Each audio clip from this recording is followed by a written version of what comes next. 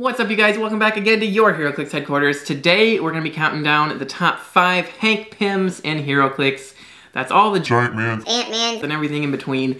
So without further ado, let's get to the list. Alright you guys, starting us off at number 5 for top 5 Hank Pym Ant-Man and Giant Mans is uh, this Ant-Man from the Age of Ultron set coming in at 100 or 50 points. This is the one that's actually like writing a couple of ants, which is awesome. He actually comes in the main set. Uh, quick history lesson in case you guys don't know, there was uh, in the Age of Ultron set several Ant-Mans and Hank Pyms and Wasp and Yellow Jackets and Giant Mans and Goliaths and all that stuff uh, that all had this morph many identities trait that says give Ant-Man a move or close combat action that deals no pushing damage. Pushing damage is not a thing anymore anyway, so that's awesome. After resolutions, uh, replace him with any character with this trait on the same click number. Then if this character started the game on his 50 point starting line, the character it is replaced with can't be healed past its 50 point starting line. Um, so that's, you know, obviously just so you can't get around, do some weird shenanigans. But um, yeah, so he starts, they all have 100 or 50 point line. You could switch between all of them. There's literally like a dozen options, I'm pretty sure, about 12 of them. Um, so I wanted to, I could have just lumped them all together and talked about all of them at once, but I wanted to kind of specifically point out my favorite ones uh, because I thought that would kind of be cheating to just talk about 12 figures at once.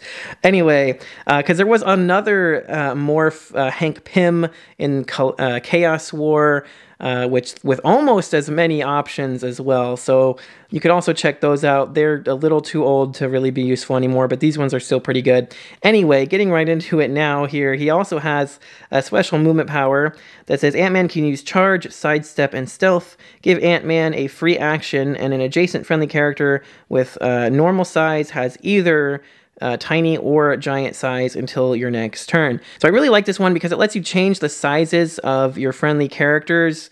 Um, just you know being able to make them tiny so they can get the plus one from range attacks or be carried around or to make them giant and and be able to have giant reach and everything and you know be able to see over other characters and stuff if they need to make range attacks. Both great options really helps out the team. Um, it is just until your next turn sadly so you can't get the super willpower from giant size but still useful. And having charge sidestep and stealth all at once is great. And improved movement for characters uh, of course hindering no longer matters but the characters is still really good. And yeah he just does that and he starts with um, at the 100 point line the uh, charge, sidestep, and stealth special with some poison, combat reflexes, and uh, of course, two damage with exploit weakness. So he has a few different ways of damaging you there. Nothing huge, uh, but he does then get some precision strike and then back to poison. Um, and then for the 50 point line, he does start with perplex. So I actually usually used to run him at the 50 point line. Um, you know, charge, sidestep, stealth, uh, the perplex, and just making friendly characters different sizes was really great. And you could carry him around too because he was tiny. Uh, then you also, you know, clicks into some other stuff there. So not amazing stats by today's standards. Uh, but for the time, he was very solid. And I still think for 50 points, the size changing and the perplex could still come in handy even today. So uh, I would love if they legacy carded like the whole Ant-Man uh, morphing set would be pretty cool. But anyway, uh, for all those reasons, this guy's coming in at number five for me. All right, coming in at number four for me is this Giant Man, also from the Age of Ultron set. And I love the sculpt on this thing. One of my favorite Giant Man sculpts ever. You know, just the uh, you know, growing all the way to giant size is so cool, so well done. Um, again, I would love this one to get a legacy card, or even for them to reuse the sculpt of that one. I wouldn't even be mad. I would love to see another version of that one. Uh, but anyway, so he also has the uh, morphing trait, many identities, to be able to switch between all the different Hank Pyms. Then he also has this awesome trait, stand tall next to Hulk and Thor. If another friendly character with the Avengers keyword and a damage value of four or more hits an opposing character, Giant Man can make a close combat attack as a free action this turn. Very useful, gets him extra attacks. Now he does have an extra 158 point line, but uh, he would have to be the 100 or the 50 point line, I believe, to swap out. I don't know. He might be able to use that once he takes damage. It's been a long time, I forget. Uh, I don't think I ever did that just because you know, it's whatever, kind of feel like you're losing points or something. Um, I guess you kind of be stealing points away. No, because it's a replacement, they would still get the same amount of points. Yeah, I feel like you'd just be losing points if you swapped him, if you played him at 158. Anyway, he does have this special attack power that says Giant Man can use Quake with a lock damage value of 3. When he does, after actions resolve, destroy all objects, walls, and blocking terrain within 2 squares. So, Super Quake that he doesn't really get until late dial. Unfortunately, I wish he started with that. But for 158, he does have 10 movement charge, 10 attack Quake, 17 impervious, 4 damage with Outwit. And you do have that giant size there for the giant reach quake. Um, being able to outwit people over other characters is always useful too. And um, then he just has a couple clicks like that there, gets some empower. And then here on his 100 point line, I did actually like playing him on the 100 point line quite a bit uh, because you'd have that empower so you could actually like just move him up have somebody else charge. As long as they had at least a three damage and hit his empower would make their damage four. Um, and it doesn't his trait doesn't look for printed damage values it's just damage value of four hits. So if, if he empowers somebody to four and they hit then he gets the free attack afterwards. So that was great. Um, and you know playing him at the 158 for, was also good because he could also punch for four damage um, if somebody else did as well. So it kind of gives you those extra free attacks are always good. And then here's the 50 point line. So he starts with sidestep, the super quake power, some outwit. Um, you basically always want to use the quake because it's going to be three damage instead of his two.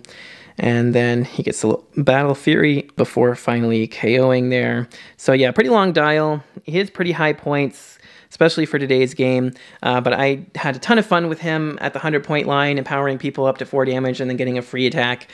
Um, and I think he's pretty good, decent still at all three of his point values. One of the best sculpts for Giant Man in the game, definitely. And for all those reasons, he's coming in at number four for me. All right, coming in at number three, we have Goliath this time. Um, so yeah, originally I wanted that Giant Man to be my number three, but uh, I took another look at this guy, and I gotta say, he is just plain better. I don't know why I didn't use him more uh, back in the day. I think I just was more a fan of Giant Man than Goliath. Like the sculpt looked cooler and stuff. Uh, but this one's insane too. So he also has the morphing trait switch between them. But then he has this other trait here that says give Goliath a free action. Until your next turn, he has colossal size. And when he does, there's a little typo here. When he does, and he makes, and when he makes a close combat attack, he considers all squares within three squares in line of fire as adjacent. So yeah, when he does and he makes a close combat attack, then he's got three square giant reach. But um, you might think, why does it say that? It already gives you that. Well, it didn't used to. Colossal size used to give you no giant reach at all. That was actually a 2017 rules change. So um, it's great to see that that is already just in the rules now. Um, but regardless, you can basically just give him a free action to make him colossal uh, and get that extra square of reach. It's not hurting anything. He still gets the extra square of reach regardless. Um, but it's just really nice that that's for everybody now. Anyway, he also has this special movement power that says he can use charge. When he does and moves in a direct line after actions resolve, he may make an additional close combat attack targeting all opposing characters whose square he moved through but didn't already target with an attack this turn. For this attack, each hit character is dealt 3 damage. Uh, so he has 140, 100, or 50 points. Again, the swaps at the 100 or the 50 lines. And uh, that's pretty much it. Oh, he does have a special damage power that says adjacent friendly characters can use energy shield deflection, which is great. I think he gets that on the 50 point line. Um, so taking a look at what his dial here, he does start with that special charge that he can then uh, make an attack against everybody he moved through, which is amazing, especially now with the close combat expert working with you know all close attacks. So this guy actually got better because of the change to close combat expert. Um, so he'll be charging with a 10 movement, 3 square giant reach, most likely because colossal size, if you want to make him colossal. Um, and, you know, with a 12 attack for 4 damage, and then everybody he moved through is going to take 3 damage on top of that, so he can do massive amounts of damage. He's got an 18 invincible to keep him, you know, pretty well protected there. Then you get some sidestep and some invuln. Then uh, for the 100 line, he's also just as good, basically. Um, you know, he's missing one on most of his stats, but he still has the the trample, you know, special charge, 10 attack, 17 with invuln, 3 damage, close combat expert. Close combat expert still helps here to bump that up to an 11 attack, so he's still really good at 100 points. And then you get some perplex here and there, some more sidestep, some quake, down to toughness. Um, oh, here's the 50 point line. So a sidestep, quake, toughness, and perplex. Nothing too crazy, but if he does take some damage, he gets 18 defend, and adjacent friendly characters can use energy shield deflection. And with that sidestep, it's really good. I do wish he started with that instead of the perplex, maybe, um, but it is really nice to have anyway to be able to defend and give out that energy shield. So, yeah, he does a lot for the team. He can do a lot of damage for sure and uh, I still think he's pretty decent for his points even today. He kind of just got better with the changes to some powers. So, for all those reasons, he's coming in at number three. All right, and coming in at number two on my list here, we have the actual colossal giant man. Um, so, there was this same sculpt of a giant man also in the Chaos War set, and this one came in like a cool box set for the uh, the Hank Pym morphs. Um, so there was a bunch of them in the main Age of Ultron set, and then there was like a special box set that had this guy and a few more of them to swap between. And all the ones in the box set also came with these ant tokens that they all generated. So for some of them, when you morph into them, they generate an ant token, and for some of the bigger characters, when you morph into them, they turn that ant token into a giant ant. Uh, but this guy, uh, he also has the morphing trait to morph between them. This is the trait I'm talking about here with the giant ant thing, where if he's brought in through the morph ability, uh, you can replace an adjacent ant swarm bystander with a giant ant bystander. Um, which I mean, the ant swarms were annoying enough by themselves. I'll try to. I'll try to post them on screen for you guys or something because I don't really feel like digging mine out right now. They're somewhere. Uh, but then he also has a trait where he can use the giant reach ability, which you know, again, uh, the rules changed. He can have a three square giant reach, which just makes him all the better, you know, even better than having regular giant reach for two. Um, but then here we go, starting us off with his special attack power. He has Flurry and Outwit. If the target of his Outwit takes damage this turn, he may use Outwit a second time as a free action. So if he outwits somebody and they take damage, he can outwit them again. So you basically outwit somebody, punch them, uh, like outwit their defense, hit them, and then outwit whatever they have to attack you with, like their charge or their penetrating blast or something like that, or their outwit. So having that double outwit is really, really useful. Then he also has a special damage power that says Giant Man can use Perplex and Quake. When he uses Quake, if his attack total is at least two or greater, then his target's defense value uh, give the hit character an action token, and it can't make ranged combat attacks during its next turn. Super useful, yet again. Um, so this guy has a really long dial, of course, because he's a colossal, but we'll try to click through it some here. So he's got 10 movement charge with 3 square giant reach, mind you, with that 11 attack, flurry, and potential double outwit, a 19 impervious, and 5 damage. Then he goes to some sidestep. He's still keeping those awesome uh, special, you know, we got the perplex and outwit to start with. Um, so that is his 300 point line. I'm sorry, I meant to show that first. 300, 200, 150 point lines. Uh, so this is his 200 point line. Still has the charge and the perplex and outwit and flurry and quakes for those special powers. He gets a little empower there, some sidestep, um, going back up to invincible there.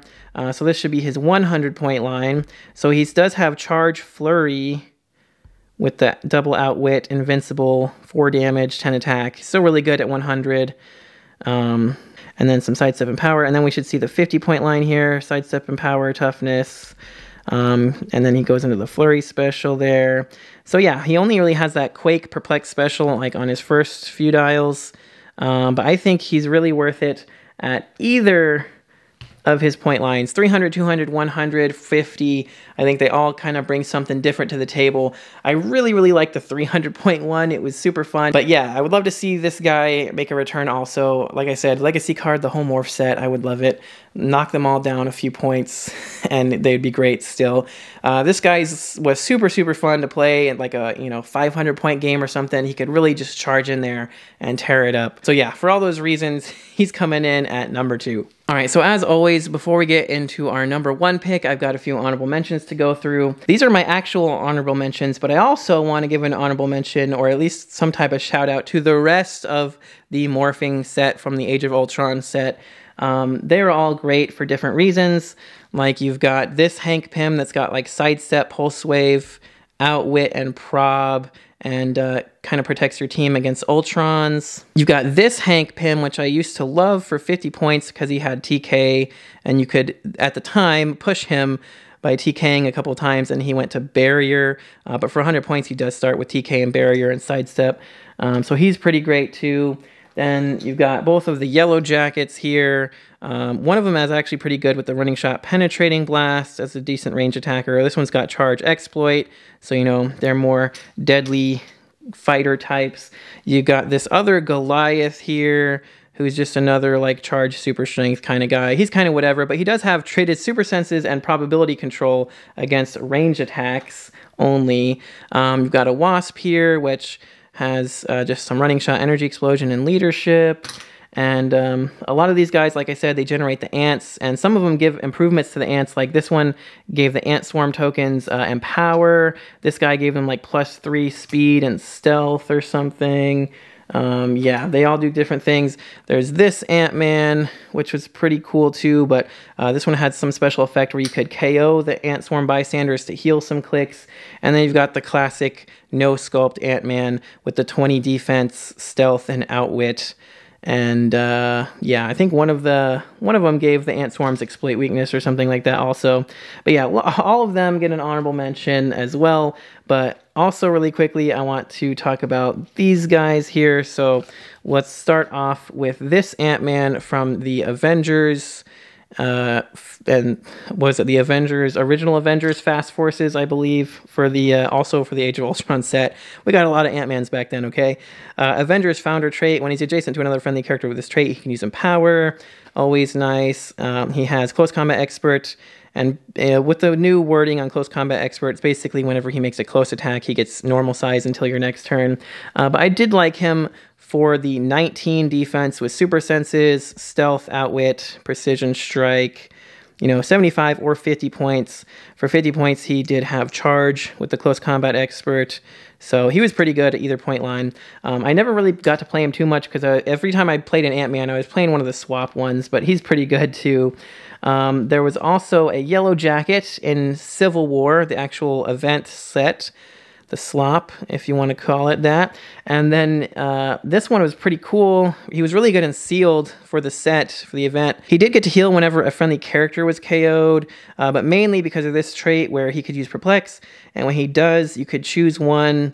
Uh, he could use it normally, or as a unique modifier, he could use Perplex to target all friendly characters within four squares in line of fire, choosing a single combat value to modify. So just being able to perplex up your entire team's defense or attack or whatever you needed was really good. Um, his stats are just really not there. However, sidestep and some willpower. 9 attack, 2 damage. He gets a little outwit there, toughness. He never goes above a 9 attack, 2 damage though, so he was really only there to perplex your whole team up, which wasn't too bad, but mostly just good for sealed. And then last but not least, we have um, the newest version of Yellow Jacket here from uh, Avengers Black Panther and the Illuminati. Actually, kind of forgot this guy was even in the set, uh, but he is, and you can see here he's got a special defense power in the middle of his dial. It gives him willpower and tiny size. And then he has leadership and free. Choose one, outwit or perplex. He can use that until your next uh, until your next turn. So being able to choose outwit or perplex is always useful. Charge super strength, uh, not too bad. He gets a little incap and exploit there. Only 55 points. So, you know, he's doing a lot. Um, he could have definitely been on the list but once again, like I said, I kind of forgot about him, so he never really impressed me enough to really want to play him. But he is pretty useful, could definitely be in the top five.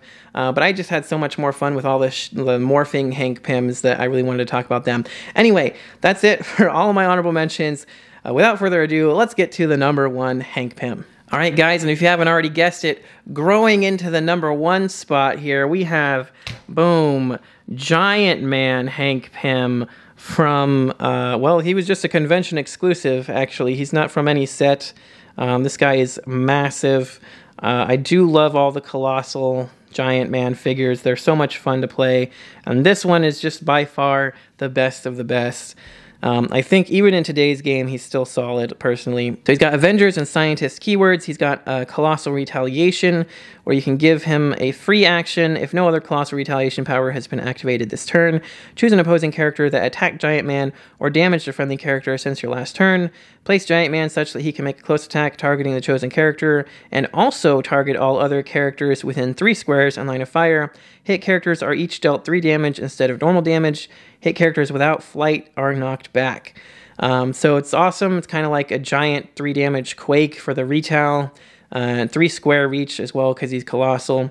Then he's got a special attack power that says Giant Man can use Quake when he does Giant Reach X, where X is his current click number, which is insane because uh, you know it gets pretty high up there.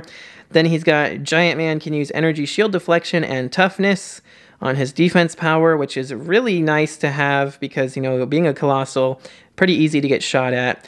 Uh, then he has Stop. If Giant Man began the game on the 15 point starting line, he can't attack smaller characters except via Colossal Retaliation. So uh, then there's inside of his card there, and boom. This is his dial. I think for 200 points, this is a great dial. He's got a whopping 19 clicks of life. Uh, so a lot of health to get through. And starting off at the 200 point line, he's got 10 movement charge, 11 attack quake, 4 damage. And again, that's with a 3 square giant reach, which really helps out the charge and the quake and everything. 19 defense with energy shield and toughness. So that's a 21 from range. If you can actually find enough hindering to park him in, it's a 22 from range.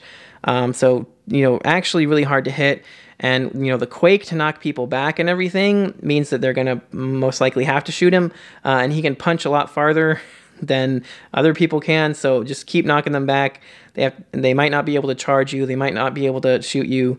Um, it's very, very good. And then even if he does get hit, he still has like some outwit here in the middle. That's where he gets this special quake um, which unfortunately doesn't continue much further. But he does get up to a six square giant reach quake there on click number six, which is just insane. Sidestep and then giant reach, everybody six squares away with quake is pretty nuts. Uh, for his 125 point line, it's still pretty solid. You got sidestep, uh, 10 attack, super strength, 17 combat reflexes, 4 damage, exploit weakness. Lots of 4 damages in there, so he's really solid damage dealer the whole time. Pretty solid defense the whole time. Um, this one, you know, I don't really like the 125 line as much because combat reflexes don't really come in handy as much because, again, you kind of want to punch people from three squares away. Um, but it is still pretty useful. It's better than nothing, you know what I mean? Um, he does have pretty decent attack values the whole way, mostly 11s and 10s. There's a few 9s here in the middle um, and at the end, but it is fairly consistent. And, you know, he does drop to a few 16s there at the end, but at least he does still have that stop click. And he does have some perplex there to help as well. So he's just a really, really long dial, really hard to get him off his top click if he's at 200. Honestly, I only ever play him at 200 or 15 uh, as a Colossal Retaliator. I think those are the sweet spots. Like, like I said, 125 is okay, but just I don't really like it as much as the other ones. Because yeah, if you play him at 200 point line, it's just harder to get him there, and it's a lot more to work to get him all the way to the stop click. I've had a few games where somebody just attacked him, attacked him, attacked him the whole game, and then he finally hit his stop click, and then it was time. like it just took that long to get through him. Uh, but yeah, so I mean, the stop click is great for the retail if you just want to retail also.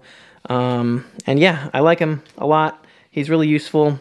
Uh, you know, you, you, can just throw him on any team just for the retail, or he can be the main headliner for 200. So uh, he's amazing. The sculpt is really cool with the you know the wing and everything. So for all those reasons, he's coming in at number one. Alright you guys, that does it for this one. As always, make sure to let me know who your favorite Hank Pyms are down in the comments, as well as make sure to let me know who you'd like to see on a future top 5 list. If you enjoyed this video, make sure you smash that like button because it does help me out a lot. And don't forget to click that subscribe button so you don't miss any future videos. And if you guys like to help support the channel even more, make sure to check the links in the description for our Patreon. For as little as $1 a month, you can see your name here on the credits with all these other awesome supporters, as well as be entered to win our Patreon giveaways each month. So make sure to check that out. But that's going to do it uh, for this one. Thank you guys again so much for watching. Till next time, this has been HeroClix Headquarters, signing off.